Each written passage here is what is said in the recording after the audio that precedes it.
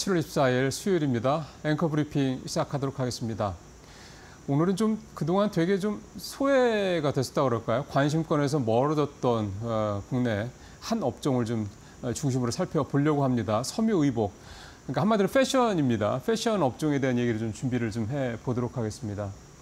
어, 차트가 세 개가 좀 올라와 있는데요. 제일 어, 오른쪽 어, 그러니까 시청자 여러분께서 보시기에는 왼쪽 상단이죠. 음식료 업종의 차트고요. 그 다음이 이제 화학. 화학인데 화장품 업종이라고 생각하시면 됩니다. 그러니까 이건 이제 대략 윤곽을 뭐 보시면 되는 거니까 정확하게 화장품 업종이 따로 없어서 업종 지수가 따로 없어서 화학 화장품이 속해 있는 화학 업종의 업종 지수를 가져온 거니까 그렇게 이해하시면 되고요. 마지막에 이제 말씀드린 섬유의복 그러니까 아, 패션 업종입니다.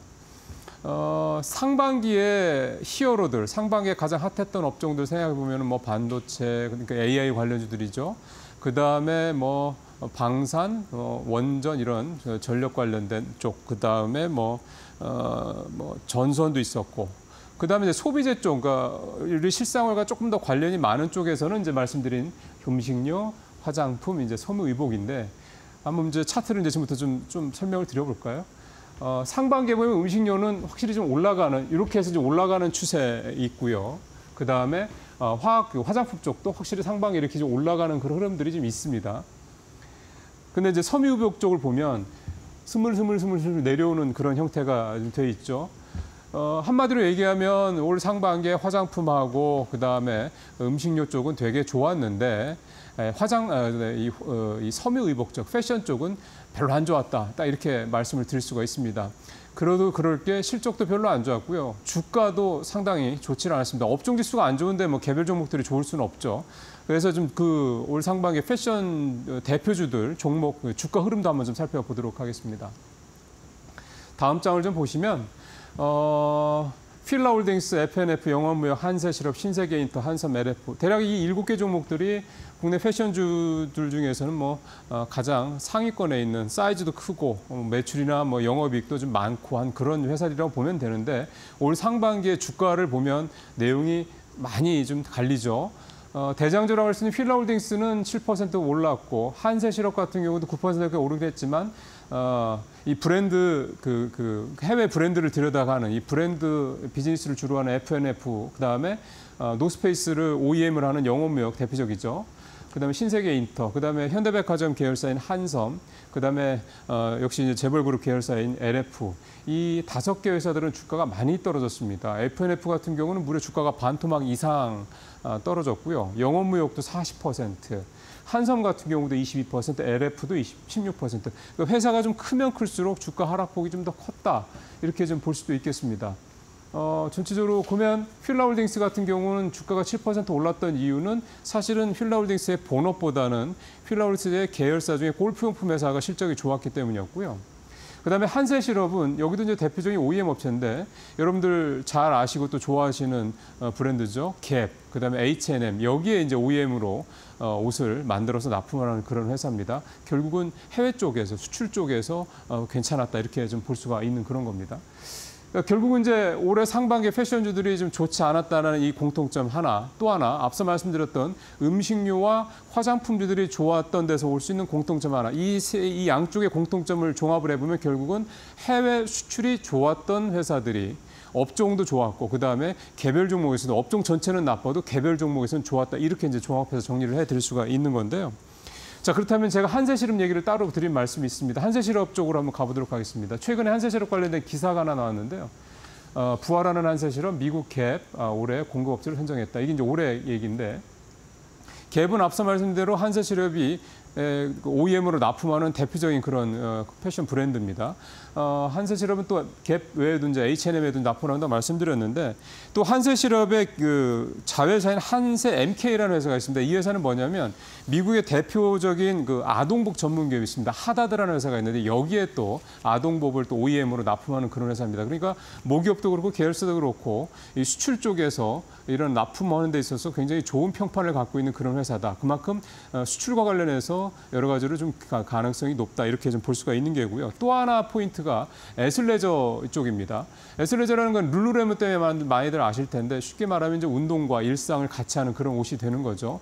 이 에슬레저 쪽에서 국내에서 좀 어, 뜨고 있는 회사가 바로 브랜드 엑스 코퍼레이션 회사인데 이름만 들어봐서는 뭔 회사인지 모르겠지만 에, 잭스미스라는 회사, 이 잭스미스라는 이 브랜드를 갖고 있는 회사라고 하면 좀 이해하실 겁니다. 결국 이렇게 어, 이런 어, 요가라든가 그런 뭐 헬스에서 쓰는 그런 운동 브랜드가 될 텐데요.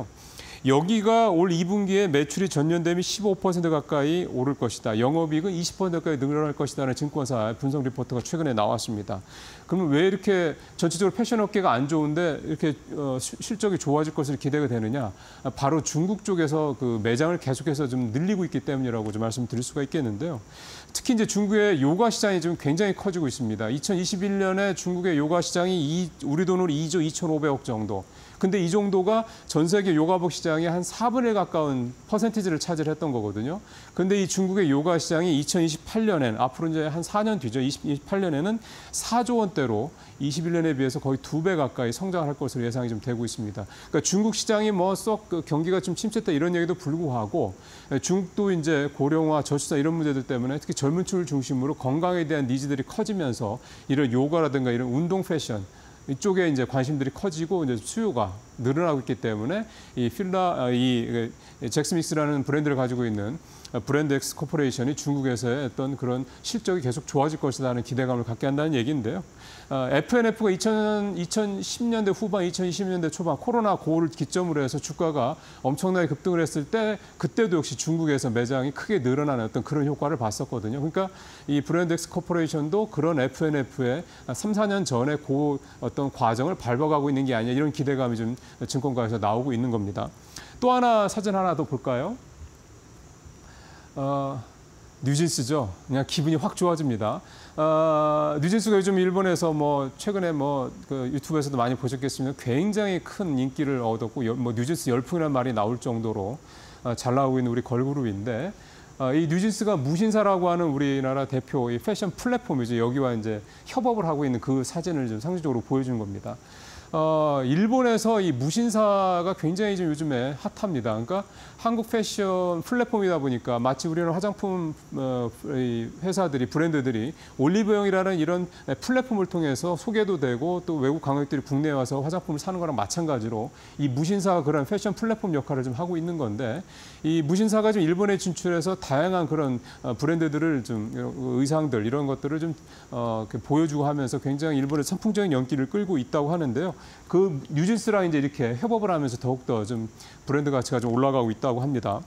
아, 근데 일본에서 왜 한국 패션, 그 K 패션이 좀 뜨고 있냐면, 어, 비록 뭐 이런 걸그룹들을 통해서, 그 K 어떤 팝을 통해서 굉장히 이 패션들이 소개가 되는 그런 것들도 있고요. 또 하나는 사실 일본 사람들하고 우리하고 체형도 비슷하고 뭐 기후도 좀 비슷하지 않습니까? 그런 것들 때문에 해외 쪽보다 일본 쪽이 그러니까 어떤 서구 쪽보다 일본 쪽이 훨씬 더 우리나라 패션 업체들이 진출해서 성과를 바로내기가 좀 좋다 그런 어떤 것도 있고요. 이게 역으로 생각하면요. 어, 유니클로가 국내에서 아주 대박이 났던 거랑 똑같다고 보시면 됩니다. 어, 또 하나 이제 제가 봤을 때 강점은 뭐냐면 이 K 패션이 일본에서 좀 열풍을 일으키는 또 가장 큰 이유 중에 하나는 K 팝이라고 말씀드렸지 않습니까? 근데 K 팝과 그다음에 K 어떤 패션 여기에 어, K 뷰티, K 화장품들도 일본에서 굉장히 성과가 좋고 수출이 좀 늘고 있습니다. 그러니까 결국은 어, 팝과 뷰티 그다음에 이 어, 패션까지 삼자가 서로 시너지 효과를 내면서 더욱더 그 효과를 배가시킬 수 있다. 이게 이제 어떻게 보면 한국 패션에 갖고 있는 어떤 장점이 될 수 있다. 이런 이제 말씀을 드릴 수가 있는 건데요. 이제 결론을 내리면 이 동투기 전에 가장 어둡다는 말이 있는 것처럼 결국은 예, 우리나라 이- 이 패션도 결국 제조업이지 않습니까? 앞서 한세 실업의 사례를 말씀드렸던 것과 마찬가지로 조금 더 확장해서 얘기하면 어, 방산, 조선, 그다음에 화장품, 음식료 등. 어, 올 상반기에 굉장히 각광을 받고 있고 지금도 굉장히 전망이 좋은 국내 업종들의 공통점은 뭐냐면 크게 보면 온 타임 온 버지 그러니까 납기내 저- 예산을 정확하게 맞춰서 납기에 어, 그 일을 성사시킨다는 것. 또 하나는 굉장히 빠른 납품 능력 세 번째는 굉장히 탁월한 가성비 이렇게 좀 요약을 해볼 수 있겠는데요. 이런 K 제조업의 DNA가 결국은 이제 패션 쪽에서도 빛을 발할 수 있는 시기가 되지 않았나 그런 생각이 듭니다. 아, 지금 패션 쪽은 물론 주가도 많이 떨어지고 저평가돼 있긴 하지만 실적을 봐가면서 특히 수출 쪽에 경쟁력이 갖고 있는 회사를 중심으로 한번 눈여겨보실 때가 되지 않았나 그런 생각을 해봅니다. 앵커 브리핑 마치겠습니다.